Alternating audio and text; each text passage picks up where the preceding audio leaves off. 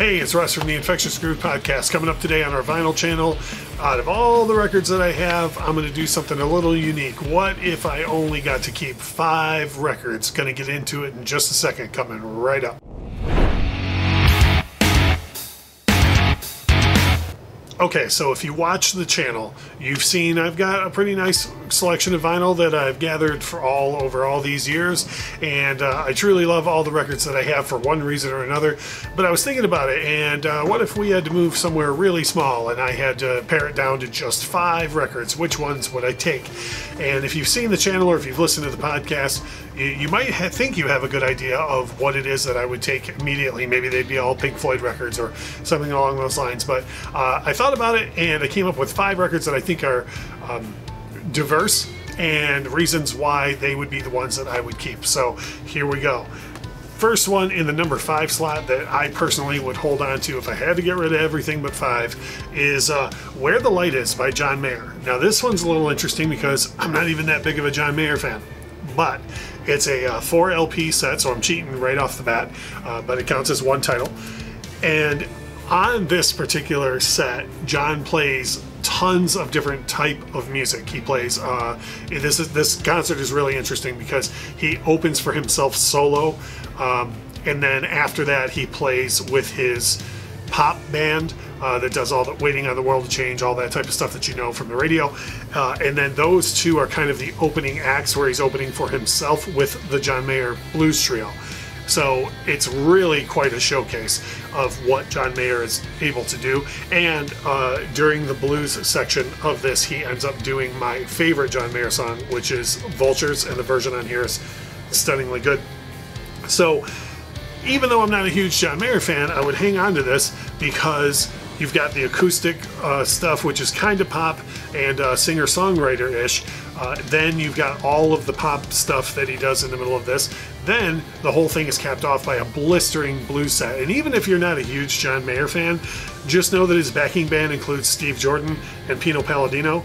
Uh, I once heard another well respected bass player when the name Pino Palladino came up said, Oh, we all walk in his shadow. So if you're a bass player or a fan of good blues music, you probably know who Pino is amazing, stunning blues set on here. So that's why that comes in at number five that I would keep if I had to get rid of everything except for five. We've got a couple coming up here that one that's definitely country, and then one that from an artist who's uh, could be considered country, but not on this particular record. But let's get down to business. This one right here. Garth Brooks, Ropin' the Wind. I would absolutely hang on to this if I only had five records that I could hang on to. This is Garth's third album very, very, very, very country, very, very twangy. And as a matter of fact, not a lot of his huge hits came off of this record. Uh, most of his hits came off of the two before it uh, and the two after this one.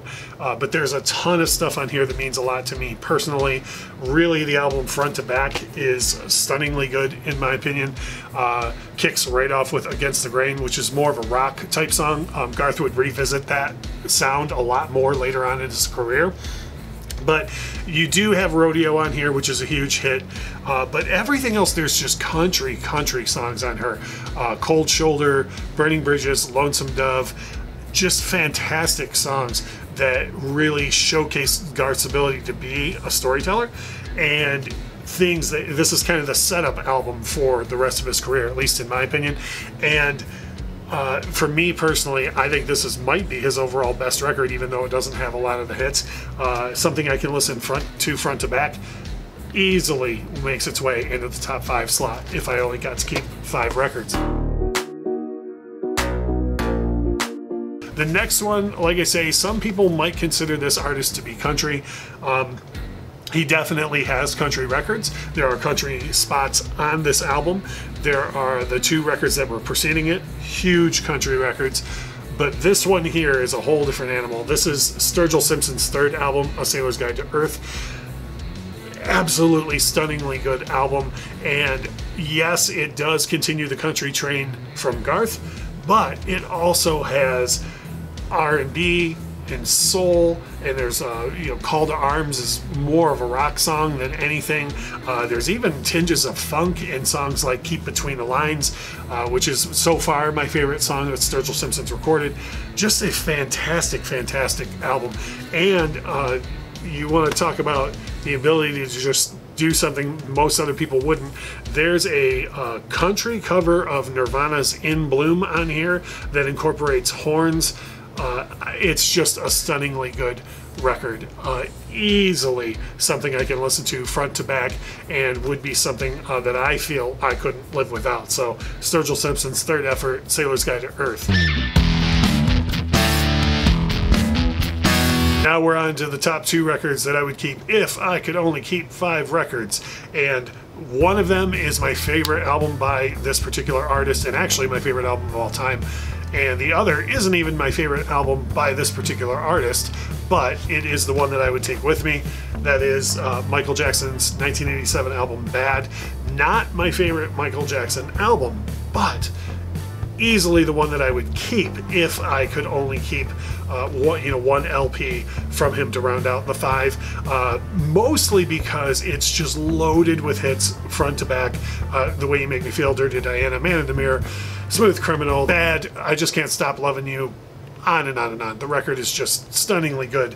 And even though it's not my personal favorite record by him.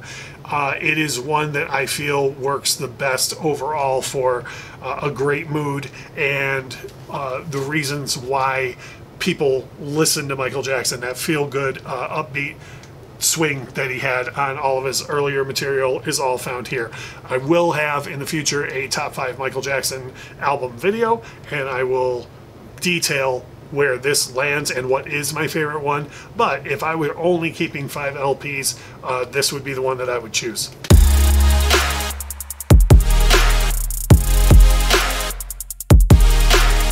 As far as the number one spot goes, if you saw my top five Pink Floyd albums video, then you probably knew where this was going when it started.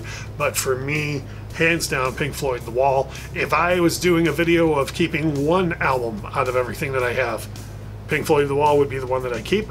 I can't say enough good things about this record. If you want to know more detail about why I feel the way I feel about it, you can watch the top five Pink Floyd albums video that's available on our channel.